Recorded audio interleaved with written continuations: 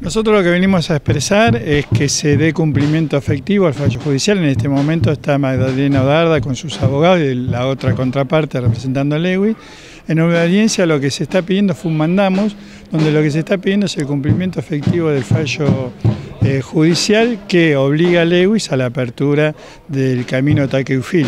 Esperamos que el fallo, digamos, dé a favor. Recordemos que hace 17 años se está esperando la apertura de este camino y bueno, ahora 11.30 la idea es hacer también una conferencia de prensa donde se va a informar el resultado de este fallo, que repito, esperamos que sea favorable porque la verdad es inaudito, eh, cualquier... Eh, bueno, a usted le ha tocado cubrir a veces desalojo cuando un vecino ocupa un, un terreno que por ahí está reclamando una vivienda, un plan de vivienda, y al poco tiempo viene la orden de desalojo y se hace el cumplimiento efectivo. Acá hay un fallo judicial que hace años que obliga nada más y nada menos que a cumplir lo que tiene que hacer cualquier ciudadano, que es hacer un camino de servidumbre en el caso de que, por ejemplo, entre tu propiedad estén eh, justamente, por ejemplo, impidiendo la llegada a un lago, a un río, a cualquier bien natural y bien común. Así que bueno, estamos esperando que este mandato dé a favor de la causa que hace años eh, se debería estar cumpliendo.